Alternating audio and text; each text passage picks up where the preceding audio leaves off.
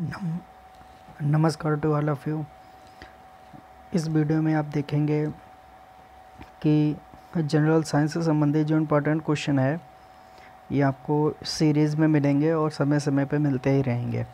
तो बिल्कुल, यदि आप विज्ञान या फिर जनरल साइंस से संबंधित जुड़े हुए हैं या किसी एग्ज़ाम की प्रिपरेशन कर रहे हैं या फिर विज्ञान से संबंधित जानकारी रखना आपके लिए आवश्यक है तो बिल्कुल आप ये वीडियो दे, देख सकते हैं और इससे आपको काफ़ी क्वेश्चंस क्लियर होंगे। देखिए पहला क्वेश्चन है फोटोग्राफी में उपयोग तत्व का नाम क्या है? तो देखिए जो फोटोग्राफी होती है उसमें सिल्वर ब्रोमाइड यूज़ किया जाता है। कौन सा? सिल्वर ब्रोमाइड अगला क्वेश्चन ओजोन की परत किस रसायन से मुख्यतः नष्ट होती है? तो देखिए जो हमारे वातावरण में ऊपर ओजोन पाई जाती है तो वो सी एफ़ सी इसका पूरा नाम होता है क्लोरोफ्लोरोकार्बन तो सी एफ़ सी क्लोरोफ्लोरोकार्बन के कारण ये नष्ट हो जाती है। अगर इसकी जगह ऑप्शन क्लोरीन होता तो वो भी सही हो जाता अगर सी एल क्लोरीन होता तो क्या होता? वो भी हमारा सही होता। अगला क्वेश्चन है, राष्ट्रीय रासायनिक प्रयोगशाला कहाँ स्थित है? तो वो पुणे में स्थित है। कहाँ? पुणे। अगला क्वेश्चन है, जब पानी उबलता है तो इसका ताप क्या रहता है? तो जब उबलता है तो उबलने पे क्या रहेगा बताइए? स्थिर रहता है। क्या रहता है? स्थिर रहता है, ओके? यानी एक समान रहता है। जब पानी उबलता है तो इसका ताप क्या रहता है? एक समान रहता है। अब अगला क्वेश्चन है, हाइड्रोफोबिया रोग किस से होता है? तो अगर इसके आंसर की बात करें, हाइड्रोफोबिया जो रोग होता है वो कुत्ते के काटने से हो जाता है। जो तत्व तो ऑक्सीजन पर प्रतिक्रिया नहीं करता। अगर ऑक्सीजन के साथ जो रिएक्शन नहीं करेगा तो देखिए हीलियम सबसे हल्का है। ये क्या है? ऑक्सीजन गर्वी होती है तो ये ऊपर ही रहेगा। तो क्या है? हीलियम जो है कि ऑक्सीजन से क्रिया नहीं करेगा। अगला क्वेश्चन है, शरीर में कार्बोहाइड्रेट का संग्रह किसके रूप में होता है? तो देखिए, जो हमें नियर अबाउट जो 2800 कैलोरी की जो आवश्यकता होती है 2800 किलो कैलोरी की, ठीक है? तो इसमें से हम जितना ज़्यादा खा जाएँगे तो वो हमारी बॉडी में स्टोर होता रहता है एज ए ग्लाइकोजन और जब कभी हम खाना कम खाते हैं, जितनी हमें नेसेसरी है जितनी ज़रूरत है तो क्या है, वो हमारी बॉडी से ही ग्लाइकोजन के रूप में जो इकट्ठा होता है, वो निकाल लेता है. तो ये जो ग्लाइकोजन के रूप में इकट्ठा होता है, ये इकट्ठा कहाँ होता है? ये इकट्ठा होता है हृदय के पास, यानी कि हमारे दिल के पास और ये इकट्ठा होता है और यकृत में, ठीक है? तो यकृत और हृदय। इन जगहों पे ये इकट्ठा होता रहता है। अगला क्वेश्चन है, शुष्क बर्फ़ किसे कहते हैं? तो शुष्क बर्फ़ हम लोग किसे कहते हैं?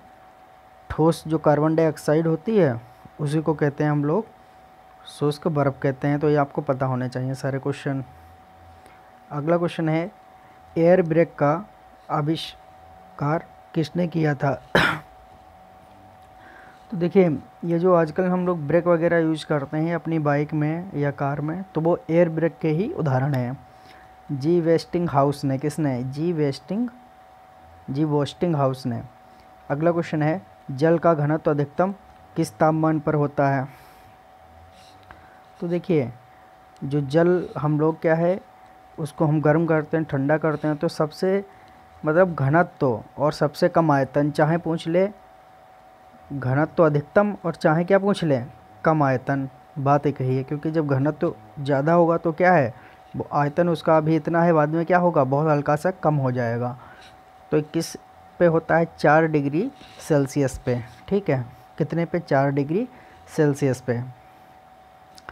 अगर क्वेश्चन आ जाए कि मानव शरीर का तापमान बताइए तो हम जानते हैं मानव शरीर का तापमान जो है कि होता है अट्ठानवे पॉइंट छः डिग्री या तो आप करेंगे, ठीक है, या अट्ठानवे पॉइंट छः डिग्री फ़ारेनहाइट में, या सैंतीस डिग्री सेल्सियस करेंगे, थर्टी सेवन डिग्री सेल्सियस करेंगे, या एक और बचा है केल्विन में, एक सौ दस पॉइंट एक पाँच केल्विन करेंगे, ठीक है। यानी एक सौ दस पॉइंट एक पाँच केल्विन, या अट्ठानवे पॉइंट छः डिग्री फारेनहाइट है, या सैंतीस डिग्री सेल्सियस। अगले क्वेश्चन की बात करते हैं। ओके। अगला क्वेश्चन है, फ्रिज में थर्मोस्टेट का कार्य क्या होते हैं? तो देखिए, जो थर्मोस्टेट होते हैं, थर्मोस्टेट का मतलब ही होता है एक समान। क्या मतलब होता है? एक समान। तो जो थर्मोस्टेट है, इससे क्या होगा? एक समान तापमान रहता है। अगला क्वेश्चन है, ध्वनि का वेग किस माध्यम में अधिकतम होता है? तो वैसे कई अगर दी हों हमें कंडीशंस तो सॉलिड या ठोस होते हैं, उसमें ध्वनि का वेग क्या होता है? अधिकतम होता है। अगला क्वेश्चन आपातकालीन घटनाओं के समय कौन सी ग्रंथि तुरंत सक्रिय हो जाती है? तो देखिए एड्रिनल होती है। कौन सी? एड्रिनल ग्लैंड इसको हम मास्टर ग्रंथि भी कहते हैं या पीयूष ग्रंथि भी कहते हैं। तो उसी का एड्रिनल कहते हैं, उसी को मास्टर ग्रंथि, उसी को पीयूष ग्रंथि कहते हैं। देखिए, जब कभी हम लोग जा रहे हो, अगर रास्ते में कभी शेर मिल जाए, ठीक है लॉइन तो क्या होगा? मतलब हम लोगों के पास अजीब सी जैसी मतलब ताकत आ जाएगी। तो वो क्या है, जो एड्रिनल से जो हार्मोन्स वगैरह स्तरापित होंगे, वो सीधे ब्लड में मिल जाएँगे। जिससे हमको क्या है एनर्जी काफ़ी मिल जाएगी। मछलियों के यकृत यकृत, तेल में किसकी प्रचुरता होती है? तो विटामिन ए मिलता है। अगला क्वेश्चन है, एथिलीन गैस का उपयोग क्या है? तो देखिए, एथिलीन बताइए। तो देखिए, ये करते क्या है? एथिलीन गैस को एलपीजी गैस में लीकेज ज्ञात करने में, यानी कि जो गैस सिलेंडर हैं, ये सही है या लीकेज है? अब बताइए, जो एलपीजी में गैस भरी होती है, ये कौन कौन सी होती है? ठीक है, एलपीजी में जो गैस भरी होती है, ये कौन कौन सी होती है? तो देखिए, अगर एलपीजी में जो गैस भरी होगी, वो होगी प्रोप और ब्यूटेन, ठीक है? कौन सी होगी? ब्यूटेन और प्रोपेन। प्रोपेन। तो ये गैसें होती हैं। ध्यान रखिए आप। अगला क्वेश्चन है, वेंचुरी मीटर से क्या ज्ञात करते हैं? तो देखिए, जब कभी जल जो है कि एक जगह से दूसरी जगह जाता है तो उसमें कुछ धारा उत्पन्न होती है तो वो धारा ज्ञात की जाती है वेंचुरी मीटर से। अगला है पत्तियों में पाया जाने वाला तत्व क्या है? मैग्नीशियम। किसके कारण पेड़ पौधे हरे होते हैं? तो आएगा क्लोरोफिल, ठीक है? क्या आएगा? क्लोरोफिल। लेकिन जो पत्तियों में पाया जाने वाला, अब आ जाए कि क्लोरोफिल के लिए सहायक क्या है? तो आएगा मैग्नीशियम, ठीक है? तो पत्तियाँ हरी होती हैं, क्लोरोफिल के कारण और क्लोरोफिल पत्तियों में ज़्यादा इकट्ठा कैसे हो? मैग्नीशियम होगा तो अपने आप ज़्यादा क्लोरोफिल इकट्ठा हो जाएगा। अगला क्वेश्चन है, साल्ट पीटर क्या कहलाता है पोटेशियम नाइट्रेट को, यानी के थ्री मानव शरीर में डिहाइड्रेशन किसकी कमी से होता है? डिहाइड्रेशन में शरीर में जल की कमी, ठीक है? यानी पानी कम हो जाएगा। तो वो कब होगा? तो देखिए, जब कभी जल कम होता है तो जल कम होता है साथ में क्या है? नमक कम हो जाता है। तो जो लबड़ यहाँ पे लिखा है ये तुम्हें लिख के दे सकता है एन या सोडियम क्लोराइड। तो अगर ऑप्शन में कभी दे दे तुम्हें एन एन तो सोडियम क्लोराइड की कमी होगी शरीर में, तब भी क्या है? डिहाइड्रेशन हो जाएगा, जल की कमी हो जाएगी। पायरोमीटर क्या मापता है? विकरण की तीव्रता, यानी सूर्य का ताप हम अगर मापना चाहें तो पायरोमीटर काम आता है? क्या काम आता है? पायरोमीटर सूर्य का ताप, वगैरह मापने में। कोशिका भित्ति किसकी बनी होती है? सेलुलोज की। इंसुलिन की कमी से कौन सा रोग होता है? बताइए, डायबिटीज़, ठीक है? तो हम लोग कभी क्या है, जब मधुमेह ज़्यादा हो जाता है तो हम इंजो, इंसुलिन के इंजेक्शन लगवाते हैं।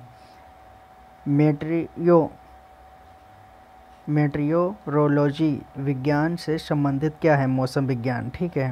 हरे फलों को कृत्रिम रक्षा पकाने में किसका उपयोग करते हैं?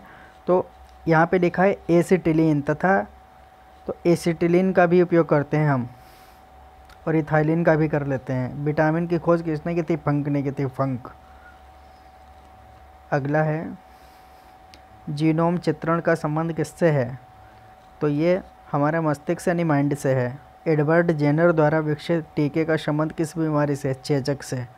पायरिया रोग शरीर के किस अंग से प्रभावित? तो पायरिया होता है मशूड़ों में होता है और मशूड़ों में होता है किसके कारण? एंट अमीबा हिस्टो, एंट अमीबा जिंजी वैलिस के कारण, ठीक है? एंट अमीबा जिंजी वैलिस नीला थोता क्या है? कॉपर सल्फेट को नीला थोता कहते हैं। तो देखिए, अभी आपको इतने क्वेश्चंस करवाए गए आशा करते हैं सभी क्वेश्चंस आपको क्या है, आसानी से लर्न हो चुके होंगे। और आप यदि चाहें तो ये क्वेश्चन का आंसर दे सकते हैं। क्वेश्चन है कि जो डब्ल्यू होती हैं, यानी वाइट ब्लड सेल्स यानी डब्ल्यू सफ़ेद रक्त कोशिकाएँ, इनका जीवन काल कितना होता है क्या? जीवन काल ये आपको कमेंट सेक्शन में बताना है। वीडियो कैसा लगा ज़रूर बताइएगा। आप वीडियो को लाइक शेयर और सब्सक्राइब ज़रूर करें, ताकि आपको आने वाले समय में ये जानकारी छूटे ना और समय समय पे आपको जानकारी मिलती रहे। जल्द ही मिलते हैं नेक्स्ट टाइम तब तक के लिए नमस्कार।